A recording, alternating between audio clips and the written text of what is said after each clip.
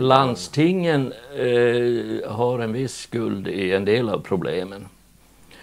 Eh, jag är inte jättepåläst på det här men man ålade dem att ha beredskap kring skyddsutrustning. Alltså, Ja. Eh, och när då menar du? Ja, det är i, i sen tid. Jag kan inte säga när, men alltså det man, man har ålagt dem det. Det där, ska, det där ska landstingen sköta. De ska ha en beredskap för skyddsutrustning. Det struntade landstingen i. Det gjordes inte. Det hände inte helt enkelt. Och eh, eftersom det inte finns någon central myndighet som igen, på allvar kan styra över landstingen så mm, det märkte man egentligen inte förrän nu. Jaha, de har inte gjort det här? Nähä. Nej. Så det, var, det, var, det har ju visat sig nu att det var inte så lyckat.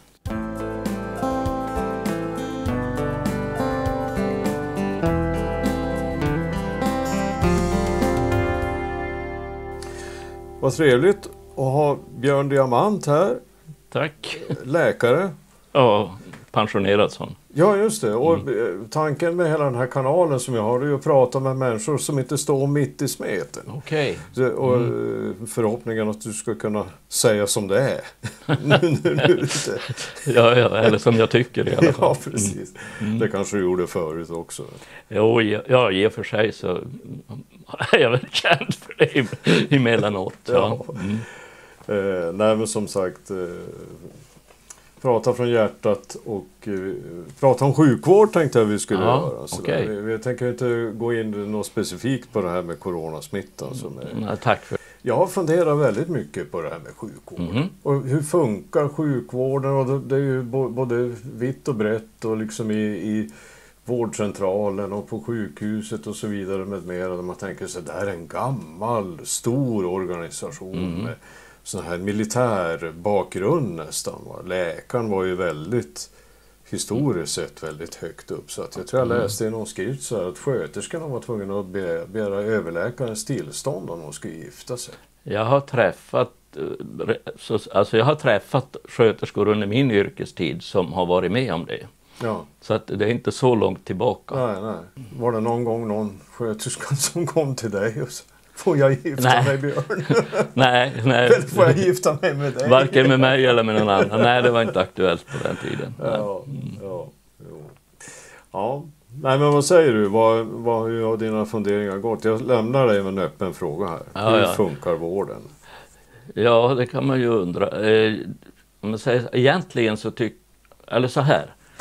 Den medicinska kunskapen är ju bättre nu än någonsin tidigare. Eh, idag är det inte alls lika farligt att exempelvis få en hjärtinfarkt som det var för när jag började jobba till exempel. Utan vi har helt andra, man har helt andra behandlingsmetoder, betydligt mer framgångsrikt. Och folk kommer tillbaka till, till sitt jobb eller vad de nu gör i sin vardag. Så att den biten och vissa cancerbehandlingar har ju utvecklats enormt. Så att medicinska, den medicinska kunskapsfronten den har rört sig väldigt starkt framåt. Det kan jag överblicka även under min yrkestid så att säga. Däremot så tycker jag inte att organisationen alls har hängt med på samma sätt. För den är fortfarande uppbyggd enligt någon gammal 1800-talsprincip egentligen. Och vad är problemet med det? då?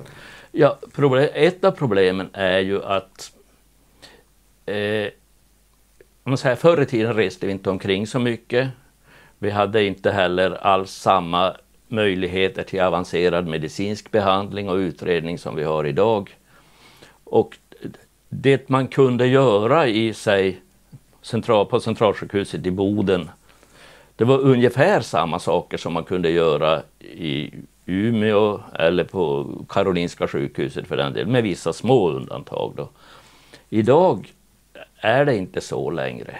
Utan det finns alltså, för de svårast sjuka finns det avancerade behandlingsmetoder som man inte har möjlighet att, man behöver en nationell organ, stark organisation för att kunna prioritera rätt på Ja, ett helt annat sätt än förut. Ett annat, eh, jag tänker på det här med att mycket kan botas nu för tiden jämfört Mm. med bara för vadå, 50 år sedan eller så.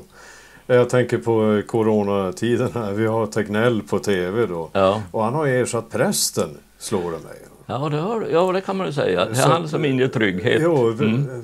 i, i, I dina händer, Tegnell, överlämnar jag dig. Ja. Och samma om jag skulle få Corona då, vilket jag väl lär få snart förr eller senare, så är det väl samma där då, om jag får problem med lungorna. Att Mm. I dina händer överlämnar jag mig. Ja, men så är det ju. Eh, Så Så, är det ju. Egentligen vid all svår sjukdom så är man ju tvungen att överlämna sig Mm. mer eller mindre. Va? Sen kan man ha... Ja, förr i tiden så var ju inte patienten någon aktiv part i diskussionen eh, kring behandling och utredning som man är idag. Ibland, idag kan jag tycka ibland att det har gått lite till överdrift också. Ja, att patienten vadå, lägger sig i för mycket? Nej, nej, symptom? nej, inte att patienten lägger sig i det. Tycker. Det har jag aldrig upplevt som ett problem egentligen. Men däremot så överlämnar man beslut till patienten som eh, patienten kanske inte vill ha det beslutet ens en gång. Jag menar, säg Nej, att du... Och som är underinformerad. Det, det är ju inte patienten som sitter inne med expertisen utan man vadå, lägger ut ett antal scenarier. Antingen så opererar du bort prostatan men då riskerar du att och så vidare. Ja, ja, men alltså min motfråga i en sån situation till en doktor i samma ålder som jag själv. Det skulle ju vara, ja men vad skulle du göra om det var du själv? Alltså, Ja, ja. jo. Eller som jag brukar säga när jag är ute och ska köpa bil. Mm. Frågar ju bilförsäljaren vad de kör för bil. Ja, ja, men det är klokt. Det samma, Ja, det, det borde... samma idé. men, men idag gör vi inte så utan vi säger På Ford, Ja, man på kan Ford göra- säger de ja, jag kör ju BMW. Mm. Ja, då blir man ju misstänksam. Ja, ja. Ja. Jo, men alltså idag så säger, säger man ju till patienten, ja man kan göra si eller man kan göra så. Ja, ja. Jaha, men vilket är bäst? Ja, det beror på hur man ser, alltså man, Mm. Man vågar inte rekommendera patienten vad man själv tycker är bäst. Va? Ibland kanske man inte vet det i och för sig, men alltså, jag skulle som patient i det läget ställa motfrågor. Ja, men vad skulle du göra om det var du själv? Men det är sällan patienter säger så. Ja. Jag måste ju dra eh, ett kort ur rockärmen här och jag vet inte. Jag gick ju hos dig Ja, som, ja, som patient. Ja. Vi har, så vi har träffats några gånger. Jag brukar vara öppen med sånt där så folk vet vad relationer med, med dem jag samtalar med. nu har jag ju inte tidningsutklippet här men jag skrev ju en krönika i NSD. Ja, ja. Det vara en massa år sedan här. Åh du noble helbrägdagörare med receptblock i din hand i repliken. Och jag lägger ut texten om den helige läkaren som springer omkring med fladdrande vit rock i korridoren. Och ja, så skulle jag ju gå till vårdcentralen då sen och då tänkte jag så här, ja men de kanske har läst de här Hur går det? grejerna. Jo, jag hade läst det. Ja, du hade det. Eh, Och vad ska de nu säga nu när de ska ta emot mig? Ja, och, ja du tog ju mitt blodtryck och kände och lyssnade och allt var bra. Och så skulle jag gå och då sa du, men vänta sa du. Mm. Och så drog du upp ut översta skrivbordslådan. Mm. Du måste signera den här åt mig, du. Då hade du klippt ut den här krönikan. Ja, ja. Jag antar att du ville ha den signerad för att du tyckte om den. ja, ja, jag tyckte det var kul. Ja. Den, var ju, den visar ju så att säga din upplevelse. Ja, Den, den kan jag ju som doktor inte ta ifrån dig. Nej, nej. Däremot så brukar jag aldrig rekommendera, det står någonting om sådana här biverkningstexter i den Ja, där. Och det, det, brukar jag, det brukar jag säga till patienten, läs inte den där bipacksedeln, du blir bara förvirrad. Ja, jo, nej, det, jag brukar inte göra det. Mm. Det kanske var, kanske var du som gav mig det rådet. Eller också lista ut det själv. Om man börjar läsa om dem där, då får Mm. man ju bil. Ja, jo. ja, vi kanske ska läsa upp den där krönikan. Ska vi, Ja, ska vi klippa in där så Ja, folk vet vad jag pratar om? ja. Så kan vi fortsätta sen. Den gudomlige läkaren fladdrar fram genom bleka korridorer i vit rock, fattar beslut om liv och död, har hög lön och stort ansvar. Men när något går fel så hamnar det i ansvarsnämnden. En prickning på sin höjd, för det mesta en tillsägelse. Du missade en cancertumör. Den gamle hade lårbensbrott. Nu är han död. Du borde ha varit noggrannare. Men strunt i det, nu tar vi nästa patient. Ibland går det rätt. Den gudomlige läkaren räddar ett liv undan döden för en stund och man är plötsligt ödmjukt tacksam. Tack doktorn, det var ju fantastiskt. Liksom ett gudomligt ingripande. Så den helige fortsätter att svepa fram i sin vita rock med en halvtimmes telefontid tisdagar och torsdagar varannan vecka. Du helbrägdagörare med receptblocket i din hand. Det finns piller mot det mesta nu. Vårt uppdrag är att främja folkhälsan. Läkemedelsverket rekommenderar ingen paracetamol vid varafarinbehandling och anestesipreparatet ketamin är numera narkotikaklassat. Piller och preparat för runt 32 miljarder om året, multivitaminer och insulin, psykoanaleptika och bensodiazepiner. Folk har svårt att sova. Det är uppenbart när man läser statistiken över sålda piller. Du läkare behövs för att hålla rätt på allt detta åt oss. Läs på noga i FASS, för vi sitter tålmodigt och väntar på dig. Upptaget och ett samtal före. Telefontiden tog slut innan jag kom fram. Men dina änglar lika undersåtar till sköterskor tar över. Ge mig en tid Kanske blir det en remiss till finsjukhuset, en röntgen eller en ögonbottenfotografering. Vi sitter på rad i trång korridor, lite ängsliga över vår dödlighet som du ständigt påminner oss om. O du helige doktor i vitt. Apotekstidningen finns ju där på väntrummets bord. Man eh, ser hur vetenskapen och den beprövade metoden tar sig an migränen, reumatismen, inkontinensen och allt det andra som folket lider av. Du dåliga, hedniska patient som smält i dig mättade fetter och snabba kolhydrater och aldrig motionerar. Du skändar den heliga sjukvården. Nu måste ju den till och med ha patienter. Du ädle tålmodige väntare, nu betalar du ditt pris här hos den gudomlige läkaren i sin vita rock med kulspetspennor i bröstfickan. Dina värden ser bra ut. Ett piller eller kanske två, Propavan eller Citalopram kanske 10 milligram till att börja med. Sov gott, tungt och djupt du människa. Se bara upp för varningstexten. Vanliga biverkningar. Rastlöshet, nervositet, huvudvärk, skakningar, yrsel, hjärtklappning, illamående, diarré, svettningar, störningar i ackommodationsförmågan. Ja, man ser lite suddigt helt enkelt. Och kraftlöshet. Oh, tack doktorn. Jag kunde äntligen sova i natt. Visserligen mitt huvud var som ett bowlingklot när jag vaknade, men du hade rätt. Jag sov. Oh, tack, tack, tack. Du helige botare i vitt. Ja, så lät den. Mm. Krönika. Ja. Ja, just det. Men, eh, ja. Men, du, om du tänker tillbaka på vardagen då, i vårdcentralen så där, Mm. hur, hur tycker du organisationens stelhet så där, kunde jag, skulle jag kunna föreställa mig att... Ja, nej, jag, jag vet inte om jag upplevde vårdcentralernas organisation i sig som stel.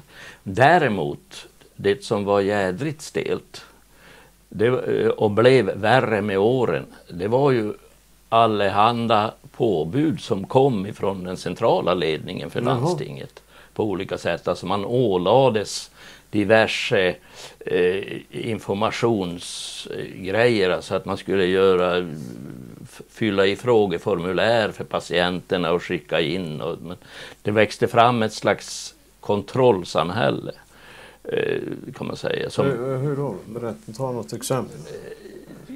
det kallas för kvalitetskontroll eller kvalitetssäkring. Fast det är ingen kvalitetssäkring därför att det återförs aldrig någonting i, på något meningsfullt sätt. Man ville ha statistik. Det, det första som kom var just kring diabetes, alltså att man skulle lämna in uppgifter kring eh, hur många som hade fått sina ben amputerade det senaste året eller en massa olika värden och så vidare. Va? Och ibland, i vissa landsting, inte hos oss i och för sig, men i vissa landsting så kopplades det också till pengar. Det vill säga om man hade, man måste dokumentera att man hade frågat patienten om de rökte och hade man dokumenterat det då fick man betalt för det, vilket, och Jaha. extra pengar. Hade man man skulle rapportera in vad patienten hade för sådana HbA1c-värden, alltså det som kallas för långtidssocker. Om det låg bra så fick man mer pengar. Det gjorde de i Stockholms landsting. Jaha. Och, och, och det, ledde, det var ju absurt därför att eh, om du har friskare patienter får du mer pengar. Det är ju jättepraktiskt. Alltså det, det gjorde såna, det, det kom en massa sådana grejer, lite olika på olika ställen. Som man ringer då och säger Åh, jag är jättesjuk. Nej, nej, du får gå någon Ja, annanstans. på, en vårdcent- på en vårdcentral jag vikarierade på i Uppsala så hade de eh, något system som man, man skulle fråga patienterna om deras livsvanor och hälsovanor och sådana här saker. Det löste man på det sättet att varje patient som kom på vårdcentralen fick en blankett att fylla i. Där man skulle tala om om man rökte, om man motionerade, möjliga sådana här nyttiga och onyttiga saker. Och så eh, stoppades de där, alla de där blanketterna i en liten låda. Och så bars det iväg till, till eh, landstinget centralt på något sätt. Så var det inget mer med det. Men man fick pengar för alla lappar. Jaha. Men jag tänkte att det där gick in i något centralregister. Och Ja, så. ja, ja på något vänster. Jag vet inte för man statistik över folket. Och, Ja, men det var ju inte på individnivå i och för sig, utan man ville veta. Man, man, Och det byggde i och för sig på, på en eh, god tanke ursprungligen, det vill säga att det är klokt för eh, doktorer och sköterskor att fråga patienter om de röker. Jo, jo, exempelvis. ja, det är det Ja. Jo, jo. Bara att man frågar kan påverka folks vanor, va? Mm. speciellt om man sen för ett samtal om det. Men att få fylla i en lapp om man röker och så vidare och sen händer inget mer, det, då händer ju ingenting. Det där låter ju i mina öron som eh, New Public Management. Ja, det var ju det. Ja, det var ju det. Mm. Det var precis det det var. Det, det, det, det behärsk, har väl behärskat sjukvården ganska kraftfullt de senaste Ja. 10, 15, 20 åren och sånt där. Och det är ett elände. Och egentligen tror jag det har lite grann med datoriseringen att göra också därför att datoriseringen innebar att man fick en eh, verktyg centralt. Och så skulle du sitta och fylla i en massa. Ja, så skulle jag sitta Sen och fylla i en gått, för då hade du en Ja, kvart, kvart ja. eh, extra arbete där. Ja, det var, det var inte fullt så. Det fanns på vårdcentralen. Det var ännu värre på sjukhusen. Mhm. Och det kan du fråga många erfarna överläkare om, eh, om detta med dessa kvalitetssynpunkter som ska lämnas in. Och Det tar, det, tar, det skäl arbetstid. Jag brukar säga att sjukvården skulle fungera alldeles utmärkt om det inte var för alla dessa patienter som kommer. Det, det kommer, ja, absolut. och landstingen skulle fungera väldigt utmärkt också utan sjukvård höll jag på att säga. Men, Ja. men, men eh, man kan ja, ja, det ligger någonting i det. Organisationen fungerar ju bättre om man inte blir störd. Mm. Så är det ju. Mm. Ja, men jag har ju lovat, vi ska inte gå in i någon djup diskussioner om coronakrisen här, men det dök ju ändå upp det här med IVA-platser och hur väl Mm. förberedd sjukvården var på att det Mm. skulle kunna hända något sånt där. Men det är mer ett samhällsberedskapsperspektiv. Jag vet inte Ja. om det är landstingen ska ägna sig åt det eller om det borde vara Länsstyrelsen som... Landstingen eh, har en viss skuld i en del av problemen. Eh, jag är inte jättepåläst på det här men man ålade dem att ha beredskap kring skyddsutrustning. Alltså, Ja.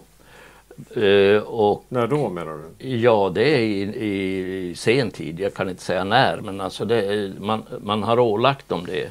Det där, ska, det där ska landstingen sköta. De ska ha en beredskap för skyddsutrustning. Det struntade landstingen i. Det gjordes inte. Det hände inte helt enkelt. Och eh, eftersom det inte finns någon central myndighet som på allvar kan styra över landstingen så det märkte man egentligen inte förrän nu. Jaha, de har inte gjort det här? Nähä. Nej. Så det, var, det, var, det har ju visat sig nu att det var inte så lyckat. Det är ju ett av problemen vi har nu. Ja, Att just man har det. svårt att få fram skyddsutrustning för personal. Men eh, Johanna Sandvall här på Socialstyrelsen som brukar vara med i de här pressträffarna Ja. de har. Jag vet inte vad hon har för position. Jag tror det är avdelningschef. Eller Ja, något sånt. Jag, jag, jag var inne på Socialstyrelsens hemsida och tittade men det verkar vara, inte vara uppdaterad information. Mm. Okej. där. Men hur som helst så tycker jag hon står där och ser väldigt, ja vad ska man säga. Eh,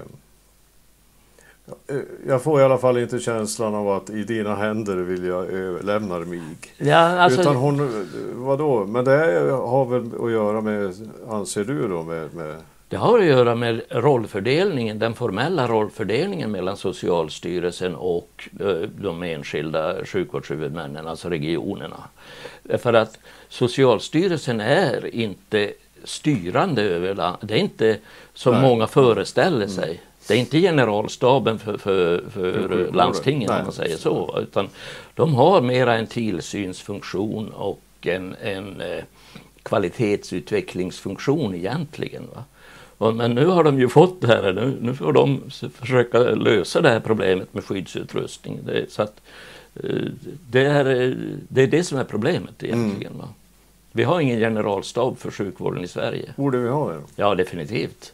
Definitivt tycker jag. Så all sj- sjukvård borde förstatligas eller vad? Ja, ligga under ja. statlig försyn på något sätt? Ja, de bo, ja, jag anser att sjukvården bör förstatligas. Eh, det finns många skäl till det. Dels det här som nu har... Det, jag tycker det har blivit ganska uppenbart i den här eh, just coronasituationen. Det här med skyddsutrustning är ett sådant exempel. Därför att däremot om en myndighet, om det hade funnits en eh, säg, generalstab för sjukvården, då hade de kunnat ge order direkt order, nu fixar ni det här. Ni ska, ni ska sköta så att ni har centrallager för skyddsutrustning hos er. Och då är det ju bara att göra. Men idag är det inte så. Nej. så och, och det finns i och för sig andra skäl till att ha förstatliga sjukvården tycker jag.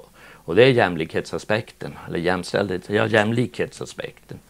Därför att idag eh, styr landstingen, de enskilda regionerna, alldeles för mycket eh, själv, vilket gör att det blir väldigt olika i olika delar av landet. Och det kan man komma runt som individ genom att till exempel teckna privata sjukförsäkringar eller ge sig iväg till någon privat vårdgivare eller någon vårdgivare överhuvudtaget i andra delar av landet. Men det är ju det fattar man ju att det, är ju, det blir ju väldigt socialt ojämlikt. Mm. Du kan köpa dig bättre sjukvård i Ja, Sverige det. idag. Och eh, Men de, vad skulle statligheten... Eh, får du en ännu större koloss, en ännu större makt hos någon Mm, Jo. chef på Socialstyrelsen Jo, jo, som nej, men det- kan det- klanta till saker? Är det inte bättre att, att ha mer privatisering då så marknaden får lösa det här och se till att man Absolut har... inte. Nej. Där- Därför att eh, marknadslösningar innebär definitivt att det blir väldigt ojämlikt. Då Ja. blir det definitivt den som har pengar som kan, eh, kan eh, köpa sig bättre sjukvård. Och det, de värderingarna har inte jag i alla fall. Ja, ja. Så det, det tror jag Ja, inte. det beror på hur man har med försäkring. Och det är klart att du måste ha, du, du, du måste natur, även om du har en central eh, sjukvårdsmyndighet med makt så kan du ju inte, du behöver inte centralisera all makt till dem så att säga, men du kan i alla fall påpeka att patientavgifterna ska vara lika i hela landet. Det är de inte idag, Nej. exempelvis. Mm. Det finns en hel eh, flora av olika avgifter, samma när det gäller Ja, allt vad gäller patientavgifter, eh, vad kost, vilka är det som får influensavaccin till exempel och, och eh, vilka får betala för det, vilka får inte betala. Varför ska det vara olika eh, mellan Västerbotten och Norrbotten? Det är ju orimligt. Och varför ska du kunna få en viss behandling om du bor i Uppsala läns landsting men du kan inte få den om du bor i Norrbotten? Det, så är det också. Så, att, eh, sådana saker. Varför ska du uh, hörapparater, regler för det är olika i olika delar av landet. Vad du kan få hjälp med, vad du inte kan få hjälp med, vad du får betala själv och vad du inte ska betala själv. Och då är det ju då dessutom så att ohälsan i sig är ju ojämnt fördelad med tanke på Ja, vad folk har för social och ekonomisk situation. Ja, men är du fattig så är det större risk att du är sjuk. Ungefär. Och det blir ju ännu värre när dessutom om du kan få tillgång till bra sjukvård eh, är betingad av om var du bor. Därför att, eh, ja, som sagt Ja. en del kan köpa sig bättre, bättre utredningar och bättre behandling. Jag såg ved hela helgen. Jaha, Så att jag, jag går runt och putsar glasögon. okej. Ja. Nu! Nu ser du till och med klarare med glasögonen utan. Det är ju fantastiskt. Ja, Mm. ja. Eh, patientperspektivet då, jag tänker på det här med corona. Jag tycker Ja. det känns jätteotäckt. Tänk om jag får andningsproblem och tänk om jag ska läggas på en isoleringsavdelning och ligga i respirator. Och Mm. Får inte träffa mina nära anhöriga och där tynar jag bort och sen kanske lampan slocknar också. Vem vet? Vem vet? Det känns inte som ett vackert scenario. Ja, man kan väl säga att en aspekt av den här coronaepidemin är ganska lärorik och det är ju just det att nu försöker man styra mer och mer centralt ifrån. Man fördelar resurser mellan olika landsting exempelvis och ser till att man har transportkapacitet och så här. Så att på något sätt så tycker jag corona, när det nu bränner till med någonting allvarligt, så visar det sig att man behöver mera, mera av centralstyrning än vad man har haft. Mm. Så du tänker det goda som kommer ut av det här är att vi Ja, kanske... om man kan säga att det är någonting gott. Men, men det, det är, jag tror att det kommer att vara en lärdom efteråt. Ja, Att vi måste ha en, en centralstyrning. Du har andra aspekter på det här. Jag, jag älskar den här frågan om skillnaden mellan regionerna. När man datoriserade sjukvården så hade det ju varit ganska bra om man hade eh, gjort ett gemensamt datasystem för sjukvården. Men det, det la man ut på de enskilda landstingen. Det var att agera ungefär som man ville. Och det gjordes alltså väldigt, väldigt olika. I Stockholm var det till och med så att man hade olika datasystem på olika sjukhus. Och jag tror till och med på olika kliniker. Vilket ju Ja, helt, och, de, och det vet vi hur svårt det är att kommunicera mellan olika datasystem. Så att nu får man ägna jättemycket kraft åt att försöka få de här att kommunicera med varandra. Eh, Och det var också en sån där grej. Det fanns ingen organisation som centralt liksom tog på sig det där. Jo, men jag har för mig att jag var med om det vid något tillfälle. Ja, att den ena handen visste inte vad... Ja, ja. Alltså på Ja. ett sjukhus, sjuk, sjukhus, på Sörby sjukhus kunde de inte komma åt. Ja, men det kan de nu. Idag tror jag de Man kan det, utvecklade den Ja, kunskapen det. så småningom. Men, men, men tidigare då så kunde de inte... Nej, vänta nu. Jag var nog inne på någon sån där akut. Jag hade väl, ja. vet jag, vad det nu var för problem. Hade vrickat foten eller vad som helst. Men då kunde de inte se min journal. Ja, De du, kunde du inte se- fattar. Men- De kunde inte se vad du hade gjort på vårdcentralen. Nej, precis. just det. var, det är ju nu- nästan nu kan patientfarligt. Tänk om man har Ja, någon eh, Ja. kronisk sjukdom Ja. som gör att man inte bör Mm. ta det och det preparatet. Mm. Eller vad det nu är för något. Ja. Så, ja. Men nu är det löst. Ja. Ja, det är löst nu. Ja. Ja. Mm. Men, sen är i och för sig, ja man kan ha synpunkter på mm, journalsystem och datasystem om de är anpassade för den verksamhet som eh, det handlar om i det enskilda fallet och sådär. Ja. Och det kan man ha synpunkter på också Ja, förstås. För vi behöver inte, till exempel på en vårdcentral behöver man inte ha samma eh, tillgång till samma typ av information alla Mm. gånger som man kan behöva på en, en specialistavdelning. På tal om coronasituationen här då. Jag tänker på, eh, du har varit läkare i många år och du har säkert eh, tagit emot hundratals, kanske ännu fler, kanske uppåt, vet jag, tusen patienter som kommer in med influensasymptom eller... Det tror jag säkert. Ja. Jo, det tror jag säkert. Är man inte som läkare rädd för att bli smittad här då? Alltså? Står någon som står och harklar en halv meter ifrån. Ja, jag, har inte, jag har egentligen aldrig tänkt på det där så mycket men på något sätt så har, har man jobbat ett antal år i, i öppenvård så eh, förvärvar man ju en viss immunitet. Jag tror att det är därför jag har sällan varit sjuk under de här åren faktiskt. Eh, och det, jag tror att det är så man förvärvar en viss immunitet mot de vanliga flunsorna. Var du mycket Inte- sjuk i början då eller när du jobbade? Ja, kanske. Ja, ja, jag minns jag hade någon halsfluss någon gång när jag jobbade i Kiruna när jag gjorde AT och var ganska sjuk och sådär. Men jag vet inte hur det, var det kom sig. Men, men eh, så småningom så... Ja, nu är ju inte vanliga, ja, vanliga förkylningar är inte det vanligaste. De flesta som, tack och lov så är det ju så att de flesta som är vanlig förkylning eller influensa och sådär, de, de går ju inte till doktorn egentligen. Det är ju Nej. när de behöver bli sjukskrivna Nej, egentligen. men det är väl när det blir illa däran. Ja. Jag hade också en halsfluss en gång. Mm. Den slutade på, den slutade på sjukhuset. Jo, nej, man kan bli jättesjuk av det. jo. Oh, ja. Intravenöst penicillin. Oj, oj, oj. Då blev ja. jag... Och det kan jag väl säga tack Björn och dina kollegor och sådär. För utan modern sjukvård hade inte jag levt idag.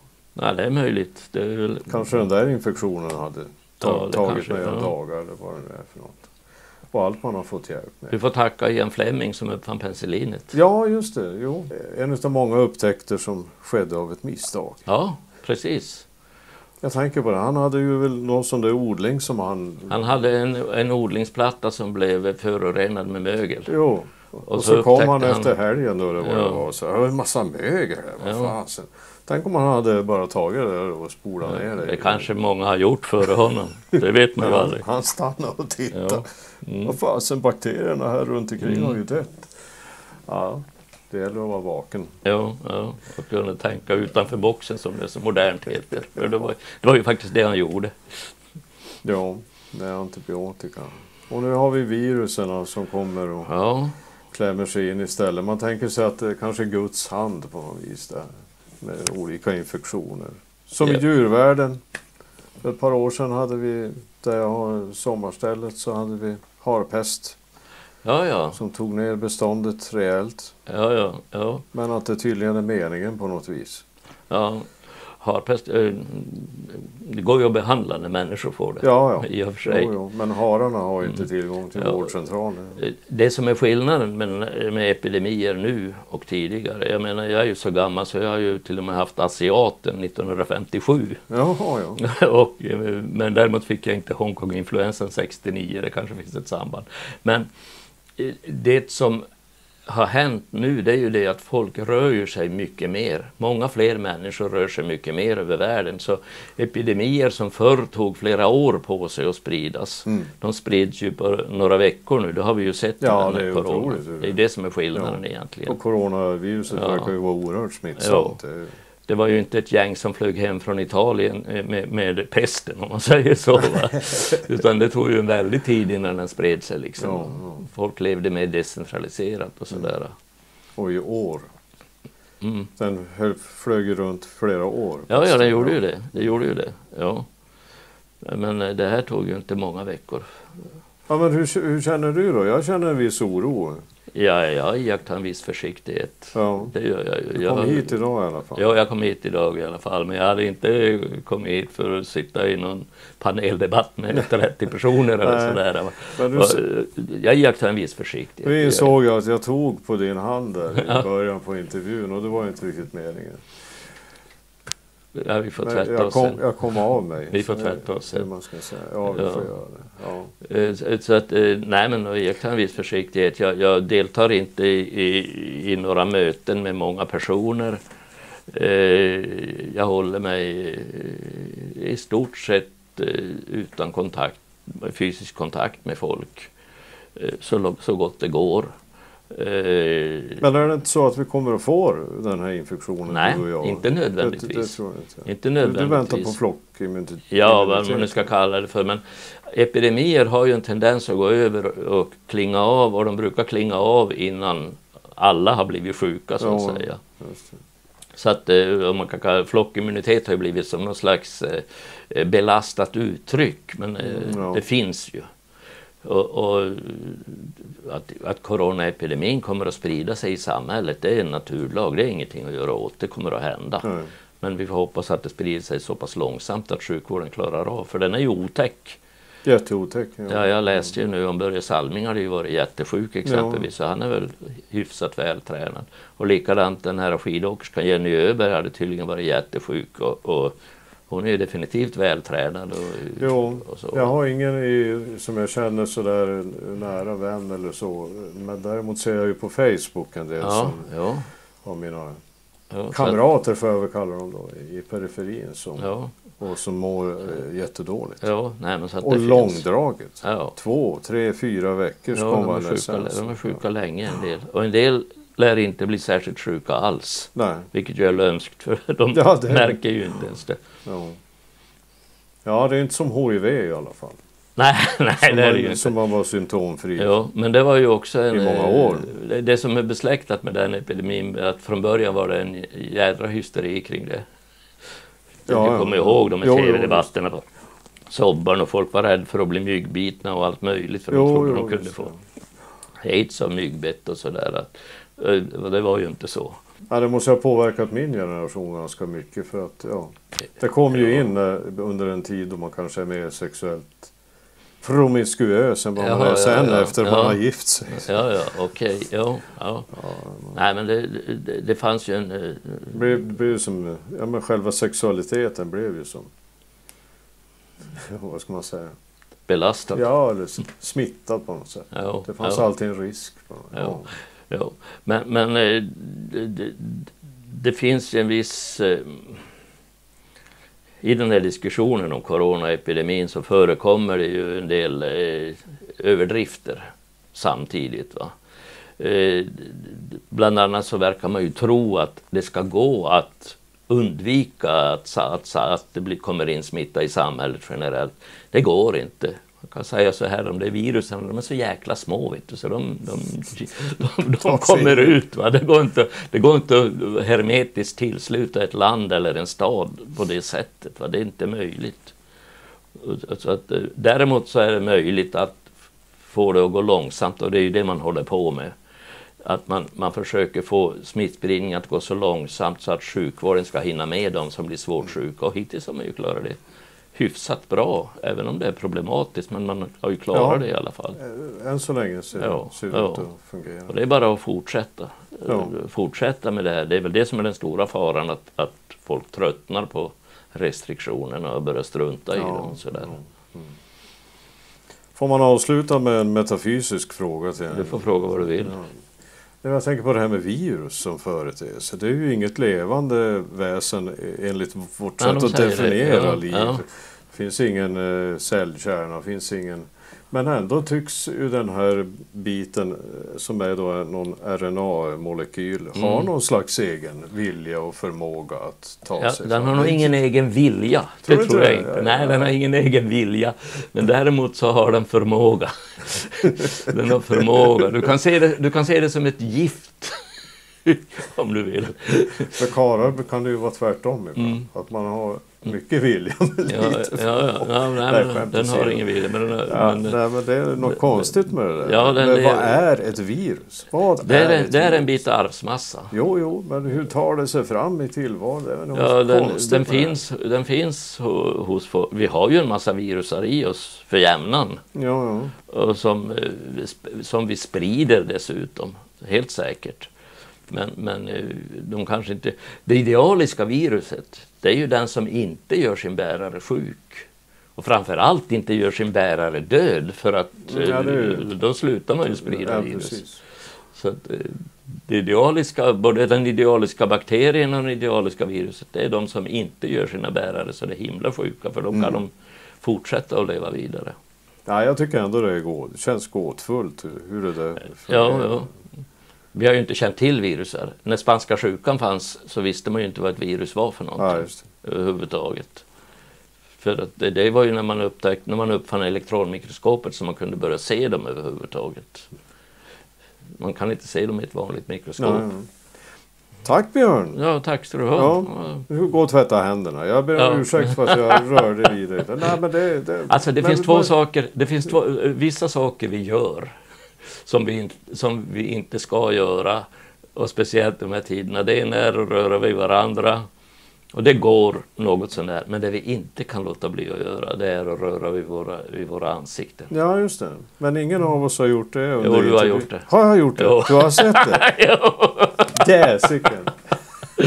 ja, ja. ja. ja det är så. Jo, nej, men det är så. Det är väldigt svårt. Mm. Man får sitta så här. Varmt tack, tack för att du kom. Tack okay, det är bra.